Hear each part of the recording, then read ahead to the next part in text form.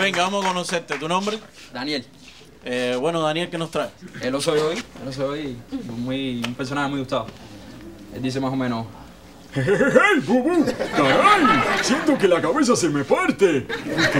Es un placer estar aquí con ustedes hoy. Venga, No imitas al, al zorro, al zorro. No, No, zorro. Eso dice, claro, alcalde. Una vez más, esta vez se dice que nos pasa el zorro. Bueno, viene, ¿qué otra cosa nos las trae? ardillitas, las famosas ardillitas que se pegaron aquí por la, la película Alvin y las ardillas.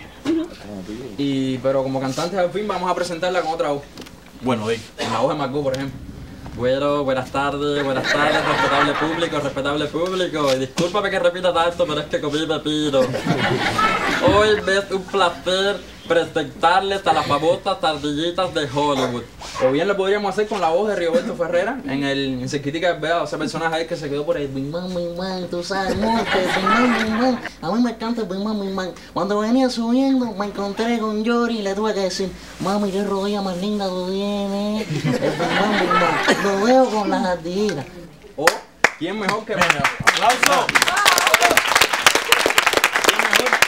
¿Quién mejor que Manuel Navarro de Colorama? A las ardillitas. Hola, ¿qué tal amigos de Colorama? Lo más pegado en toda Europa esta semana ha sido el exitazo de las ardillitas. Una mezcla de canciones brillantes. Os no les hablo más, os dejo con este tema que está pegadísimo. Bueno, dice así la canción. Vamos a ponerle el background. Bien.